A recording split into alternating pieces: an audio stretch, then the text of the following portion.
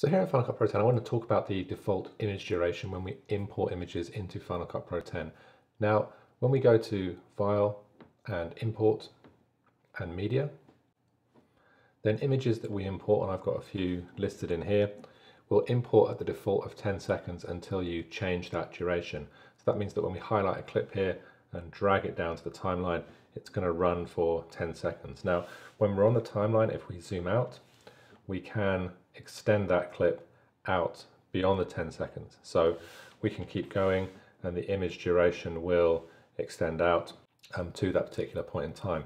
Now, obviously, being able to bring in clips at different durations is handy. Unfortunately, we can't extend the default duration beyond that 10 seconds. If we go to Final Cut Pro and Preferences, then you can see here under the editing options in the preferences, the still image duration can be set to 10 seconds, but no higher. So we can set it to 9, 8, 7, 6, 5, 4, 3, 2, and 1. And also if we're doing things like stop frame, we can make the duration less than one second um, as we stitch together our images. So I'm going to jump this back to the default 10 seconds. And there's a couple of different ways of, of dealing with this. So when we bring multiple clips down to the timeline, if they're next to one another, we can highlight those clips, highlighting them all at the same time and then doing Control and D. We can change the duration of those different clips all in one go. So at the moment the duration of these three clips lined up is 30 seconds.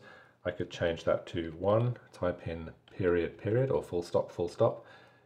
And if we hit enter, then it's going to change the duration of each of those to one minute. So now we have three minutes of clip on our timeline. Now I've gone into a bit more depth in another tutorial that goes through how we can modify multiple clips, but I just want to focus really on modifying the duration of clips here. So if we have one clip here that is in the middle and we want to make that longer or shorter, then we can highlight it and do Control and D. And then the nice thing here in Final Cut Pro is that when we make that speed change, so if I change this to 20 seconds, so 20 period or 20 full stop, so I tapped Control and D to bring up the time code in the middle here, which runs in hours, minutes, seconds, and frames. Hit enter, and then you can see we've shortened that clip and the magnetic timeline ripples our change back through.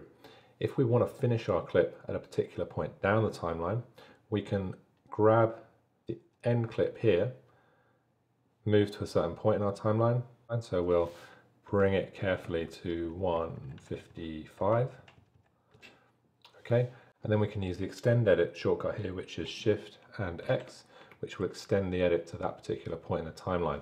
So we've got some nice control over the duration of our clips and being able to change the duration once they're on the timeline. But the default for the clips is 10 seconds at the longest down to 0.1 seconds. So again, we can come to 30 seconds here. I'm just using the left hand cursor to shorten that and then shift and X and it will shorten the, the clip to the playhead, which is a really useful way of editing your clips. So highlighting clips and then either, so either highlighting the clip here and then doing Control D, which is effectively the same as going to modify change duration, which brings us to the, the middle here. And then we can type in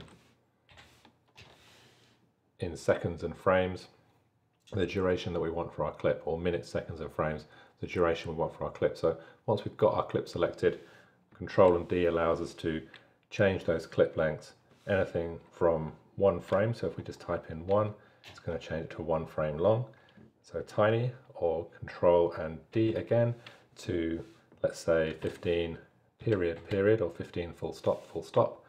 Hit enter and now we've got a 15 minute image on our timeline. So I hope that's helpful when you're working with images in Final Cut Pro 10. As I said, I've done another video on this that covers some more stuff in depth in terms of changing the duration of multiple clips on the timeline that you might want to search for and watch. Um, but I hope this has been useful and I look forward to seeing you on the next tutorial.